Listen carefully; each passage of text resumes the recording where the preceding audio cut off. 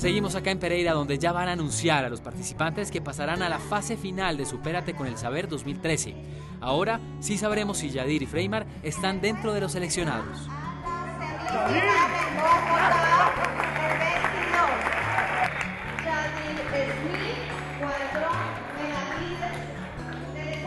Yadir logró avanzar a la gran final en Bogotá. Es un enorme logro para él y los premios le ayudarán mucho a seguir avanzando. Para Freymar, la competencia llegó hasta acá, pero regresará a Ataco como un ganador y su esfuerzo se verá recompensado más adelante.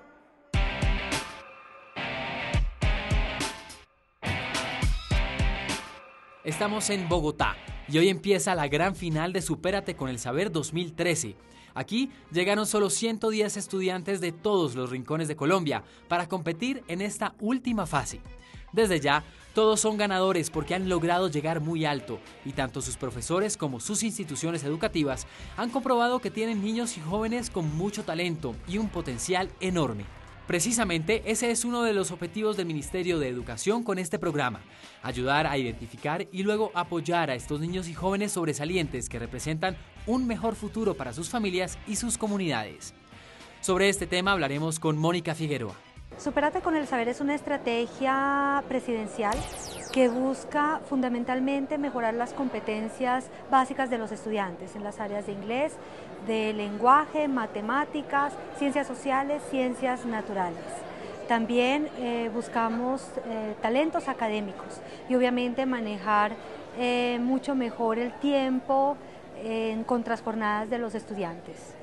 Supérate eh, afianza y mejora la calidad educativa como otra más de nuestras estrategias en el Ministerio de Educación Nacional.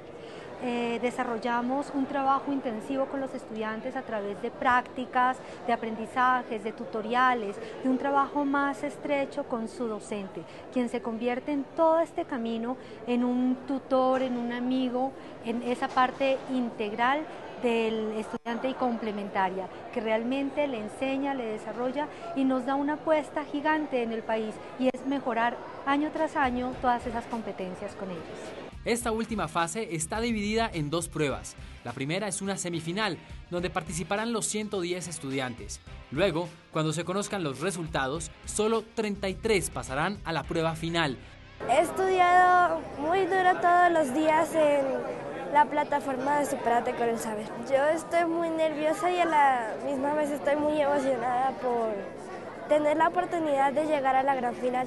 Esperando lo mejor para mi hija, sé que es una excelente estudiante, una excelente hija y estamos mi familia y yo muy orgullosos de ella pues y esperando los mejores resultados de la prueba, pues prácticamente ya todos los jóvenes que llegaron hasta acá son ganadores, pero eh, aspira pues uno de, de corazón que ella pueda obtener un logro mayor. Desafortunadamente Oyadir se enfermó y su condición no es la mejor. Aún así, su deseo de avanzar le dan fuerzas para presentar la prueba. Aunque el tiempo que ha tomado en responder las preguntas puede afectar su calificación, él decide terminar lo que vino a hacer a Bogotá, luchar por superarse y no darse por vencido. Yadir es un niño íntegro, lo resumo en esa palabra. Es un muchacho responsable, participa en todo lo que puede, comprometido con no solamente su proceso, sino con sus compañeros. Es un niño que si termina una actividad, ayuda al compañerito que aún no ha terminado. Es un muchacho extrovertido, que se le facilita hablar con la gente. Ustedes han podido verlo en el proceso. Es un muchacho que piensa las cosas antes de hablarlas y pues estamos a la expectativa de, de que se recupere. Al igual que en la fase zonal, después de presentar la prueba, los participantes esperan junto a sus profesores y familiares para saber si son uno de los 33 que avanzan a la gran final.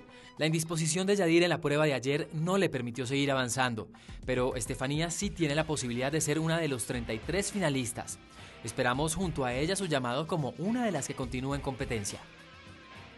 Estefanía Urrego Villalobos, Institución Educativa American School St. Francis, de Tunja, Boyacá. Estefanía ahora es una de los 33 clasificados que debe ir inmediatamente a presentar la prueba final para saber si es la primera de su categoría y hará parte de los 11 ganadores de Supérate con el Saber. Nuevamente es un momento de gran tensión.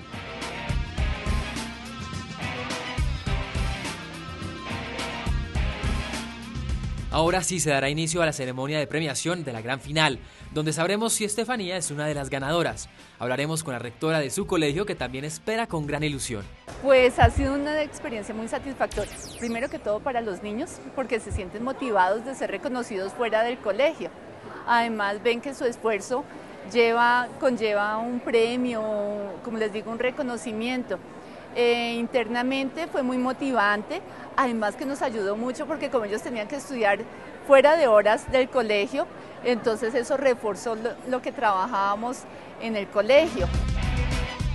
Estefanía no fue una de los 11 ganadores, quedó de tercera en la categoría de quinto de primaria en el área de ciencias naturales. Aún así, es una ganadora que reconoce lo maravilloso de participar en Supérate con el Saber. Yo quiero motivar a muchos niños que se inscriban, esta es una experiencia maravillosa, los consienten mucho en el hotel, todo es muy divertido, fuimos a Montaventura, al parque. Y estoy con algunos de los ganadores de la prueba Supérate con el Saber 2013. Ellos representan el esfuerzo personal y la dedicación de sus padres y docentes, pero sobre todo son estudiantes que creen en el poder de la educación para lograr sus sueños. Si eres estudiante y crees en ese poder, te esperamos en el próximo Supérate con el Saber. Hasta aquí Escuela Colombia, educación de calidad que se ve.